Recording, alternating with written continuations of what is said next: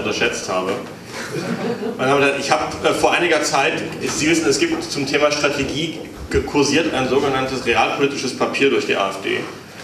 Und ich bekam eine Einladung, mich zu treffen, um über dieses Papier zu sprechen. Und ich habe das abgelehnt mit der Begründung, ich beteilige mich nicht an Fake-Diskussionen. Und damit sollten wir uns überlegen, äh, wollen wir über, ernsthaft über Strategie sprechen oder dient bereits das Sprechen über Strategie dazu, sich taktische Vorteile zu, äh, zu verschaffen?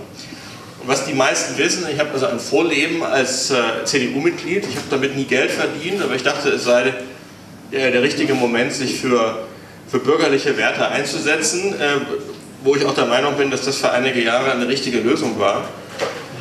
Und damit durchläuft man ja so gewisse Schulungen als JU-Mitglied, als RCDS-Vorsitzender. Und man lernt eigentlich, dass für diese Leute Politik nur noch Kommunikation ist. Was auch verständlich ist. Denn das letzte Mal, dass die deutsche Politik vor ernsthaften Entscheidungen stand, das war im Zusammenhang mit der Wiedervereinigung. Und dann dem, was danach kam, also die, die, äh, der Maastricht-Vertrag. Danach ging es eigentlich für Politiker nur darum, sich ins rechte Licht zu rücken. Aber das Land lief mehr oder weniger von selbst. Man hat mir in England dazu ein Bild beigebracht und hat gesagt, Sie müssen sich England vorstellen wie ein Segelschiff, das schon oft geflickt ist äh, mit sehr guten ähm, Offizieren auf der Brücke. Deutschland ist ein hochmodernes Containerschiff, das läuft auf Autopilot und die Offiziere auf der Brücke stehen eigentlich nur dazu da, um ihre Uniform zu tragen. Was wir erleben jetzt mit der Euro-Krise, da ging es los, aber vor allen Dingen mit der, mit der, mit der Massenzuwanderung, ist, dass dieses Containerschiff in sehr schwere See fährt. Und Sie wissen, dass wenn Sie in schwere See kommen, schaltet sich der Autopilot ab. Und wir erleben jetzt Offiziere, die nie gelernt haben,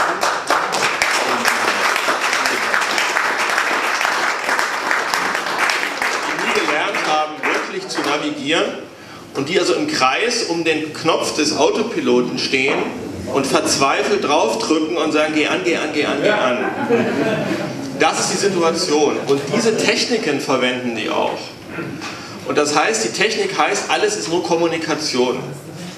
Und wenn Sie das jetzt zurücknehmen auf die AfD, dann erleben Sie ein realpolitisches Papier, das ja nur ein Ziel hat, nämlich über eine Fake-Debatte den Laden zu spalten in die Guten und in die Schlechten. Es gibt keine realpolitische Option, zumindest nicht aus diesem Papier. Wenn Sie die realpolitische Option derjenigen, die das unterstützen, nehmen, heißt es etwa, dass man in Nordrhein-Westfalen allen Ernstes überlegt hat, Herrn Laschet zum Ministerpräsidenten zu wählen. Also beim besten Willen, wenn das Realpolitik sein soll, dann, dann ist es ja zum Gruseln. Zum Gruseln.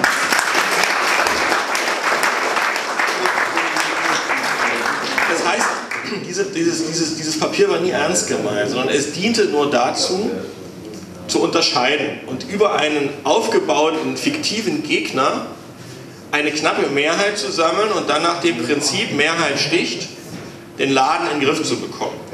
Und damit müssen wir die nächsttiefere Ebene gehen und einen Begriff einführen in den heutigen Tag, äh, den man an, in, in den angelsächsischen Ländern in der wissenschaftlichen Debatte benutzt und den man aber in Deutschland leider nicht mehr übersetzen kann, der heißt Leadership.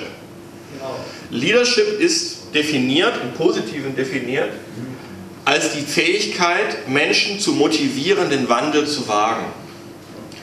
Dann leisten sie im positiven Sinne, sind sie im positiven Sinne ein Führer.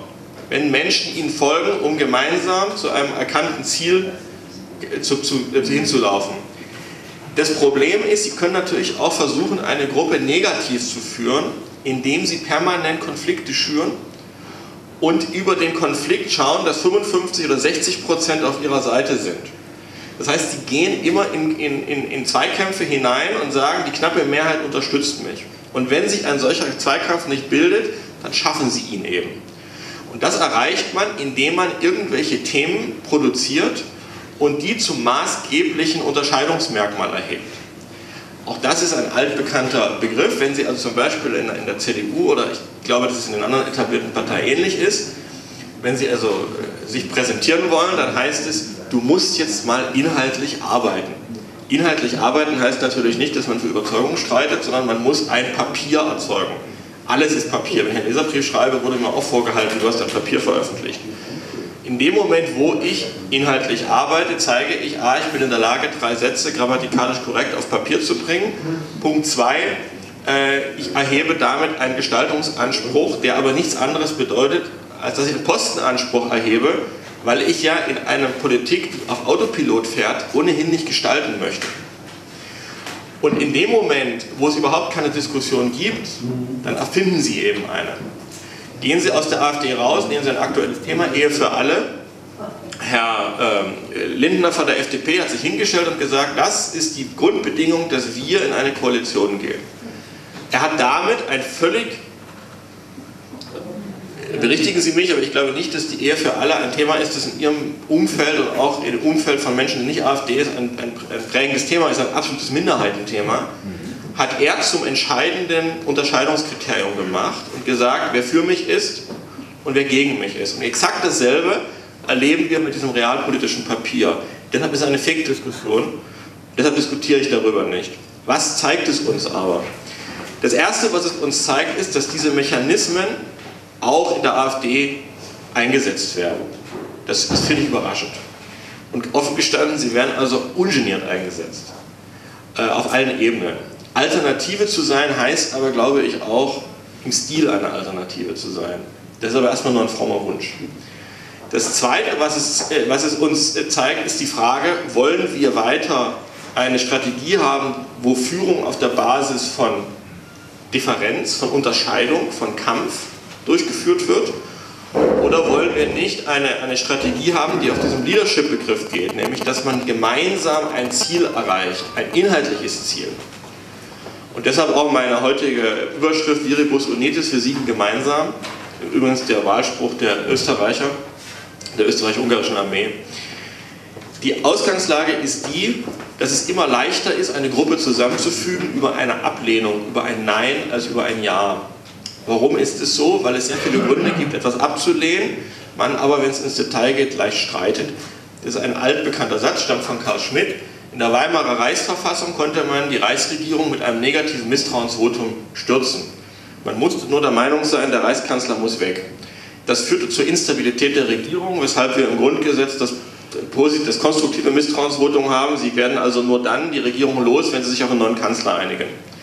Die AfD ist in der glücklichen Situation, dass sie zunächst einmal Nein sagt. Und zwar sagt sie Nein zum großen Konsens der Schönwetteroffiziere, die um den äh, Knopf mit dem äh, Autopiloten stehen. Wir haben einen großen Konsens von Grün bis CDU, der sagt, die größte Gefahr für unser Wohlstand und unsere Sicherheit ist, die Klima, ist der menschgemachte Klimawandel.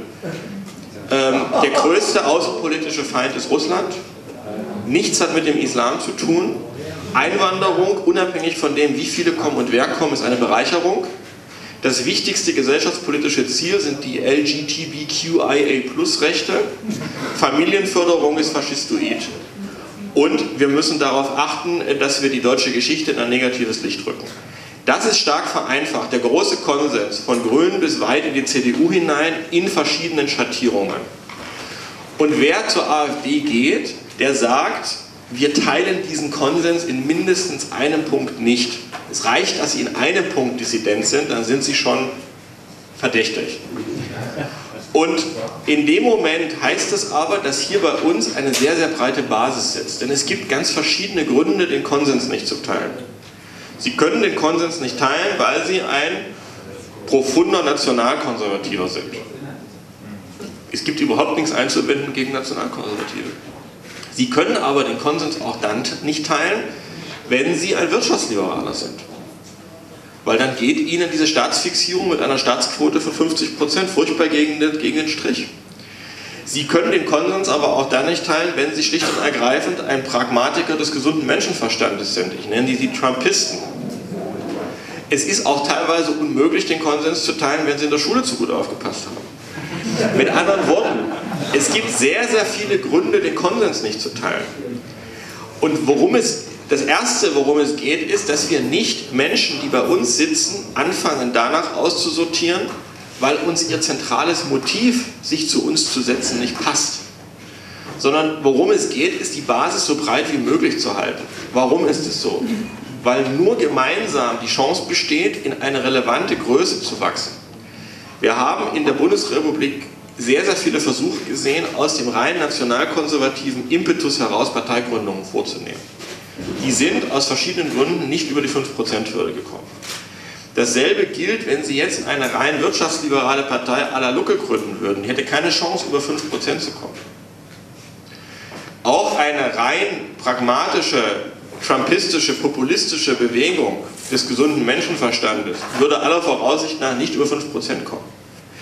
Das bedeutet, wenn wir wirklich mitspielen wollen, sind wir dazu verpflichtet, es miteinander auszuhalten. Wer also umgekehrt anfängt, über irgendwelche Pseudodebatten, Realpolitik, Nicht-Realpolitik, das aufspalten zu wollen, um seinen persönlichen innerparteilichen Karriereweg zu beschreiten, der setzt die Axt an die Wurzel. Und insofern, äh, Herr Kubitschek sagt, die AfD wird sicherlich nicht verschwinden. Einschränkung, sie kann das selbst hinbekommen, wenn sie sich entlang dieser Sollbruchlinien zerstreitet.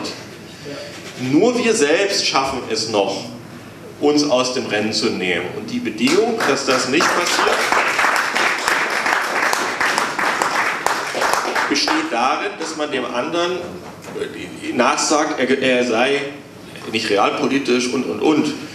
Und insofern gilt die Kritik, erlauben Sie mir das durchaus an beide Seiten. Der eine sagt, wer nicht realpolitisch ist, muss raus und wird mit äh, Parteiausschussverfahren überzogen, was völlig grotesk ist.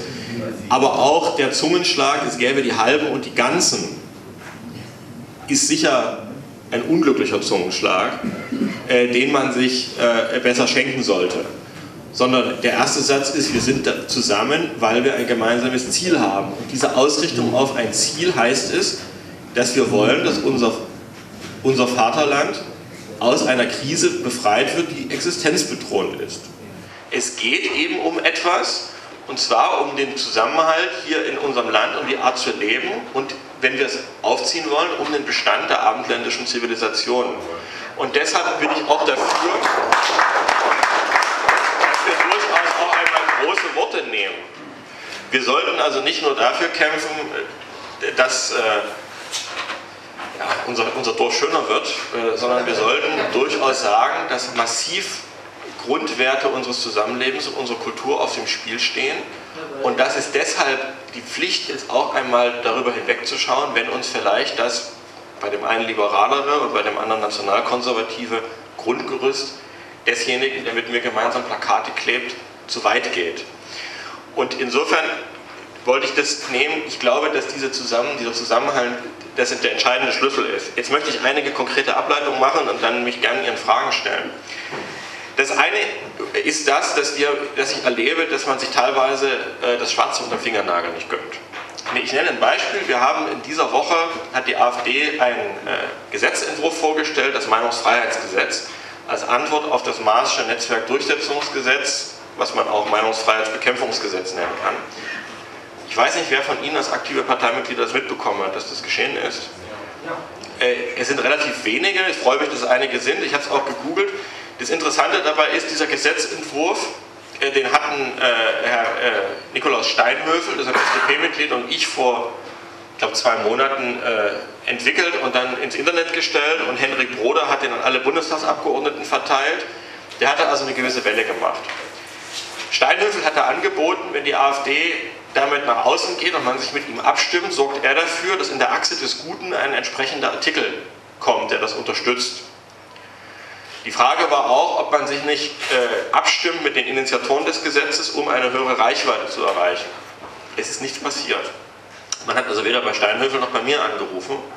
Das Ergebnis ist, das ist verpufft. Jetzt kann man sich darüber streiten, warum ist das äh, äh, passiert. Einigen wir uns, mindestens war es unprofessionell. Äh, nehmen wir weiter, Sie hatten hier in Sachsen-Anhalt äh, unlängst das Problem, dass aus einer äh, WhatsApp-Gruppe geleakt wurde. Die erste Frage ist, warum läuft parteiinterne Kommunikation über eine WhatsApp-Gruppe und nicht über geschlossene Online-Plattformen, wie das im Ausland Standard ist? Das ist ein Mangel an Vorbereitung und an, an, Professionalität. Es gibt zum Beispiel, der gesamte Wahlkampf von Herrn Trump lief über eine App, wo die Parteimitglieder geschlossen kommunizieren konnten.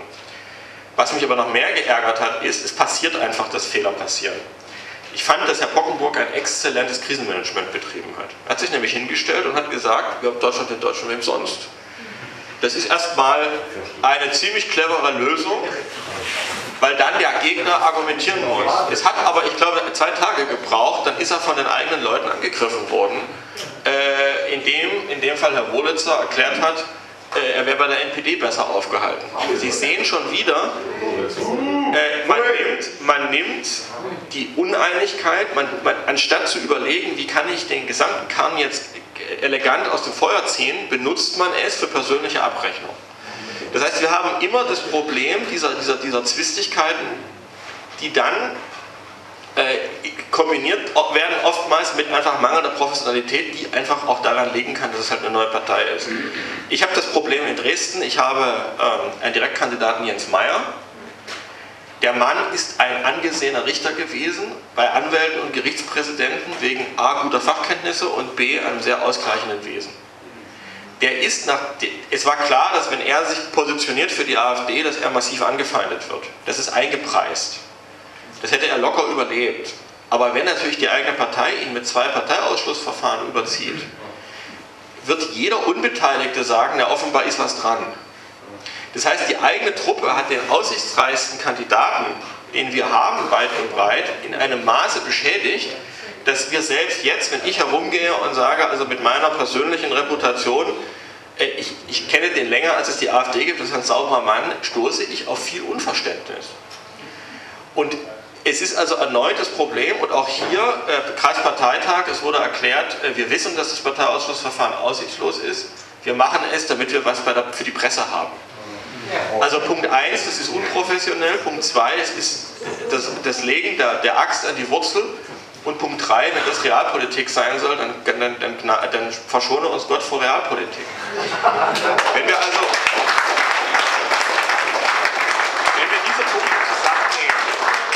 mein strategischer Ansatz. Das erste ist, entweder wir schaffen es gemeinsam oder wir schaffen es gar nicht.